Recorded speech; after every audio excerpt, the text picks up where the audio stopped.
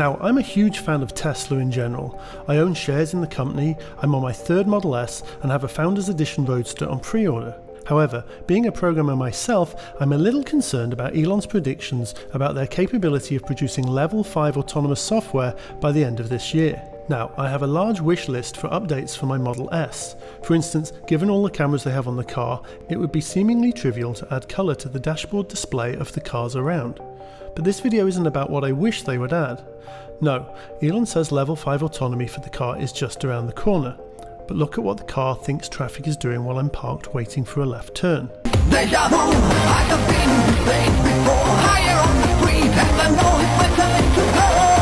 But scanning for moving traffic is tricky, and as a programmer I know this. So this video isn't to give them a hard time about that. My confidence in them producing a relatively bug-free autonomous experience is rather undermined by something entirely different. Their inability to correctly tell the time. There is a bug in their ability to count seconds, and it's been in the car for as long as I can remember, and I've been watching it for years. So what is the bug? Well, let's set a timer here in the video against video I've shot of my car's clock on my iPhone.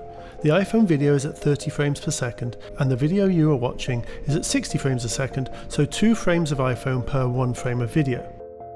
If we stop the video 10 seconds in, we can see that the Tesla clock is still on 9 seconds, and it doesn't tick to 10 until 5 frames later. So let's let the clock run and see how badly it drifts. Now how on earth this oh so simple task of counting seconds has been messed up, I have no idea. Practically every computer on the planet has a timekeeping clock inside it, and it's trivial to ask the computer what the time is. Not to mention that the car's GPS relies on knowing the time to a super accurate degree and so on. But with this clock, the time keeps drifting and drifting. It feels like you'd have to deliberately code this to happen. I honestly don't know how you'd mess this up. So let's wait and see how far out it is at the end of one minute you can actually see the lag between the timecode and the movement of the hand now. Okay, coming up to one minute. So here's one minute, and you can see the clock reads 59 seconds, but how many frames out is it? Let's let it tick to 12 and see.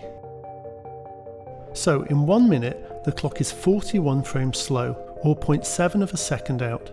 That means in just one minute, the clock has lost over 1% of accuracy. In one minute. Now, obviously, if that were the case, then very quickly every Tesla driver in the world would have some complaints. But in the hack of the century, Tesla has you covered. See what happens at a minute and 10 seconds. Yep, it just skips a second completely. This now puts the clock ahead of time, which means that when it gets to around 1 minute 30, we're back in sync.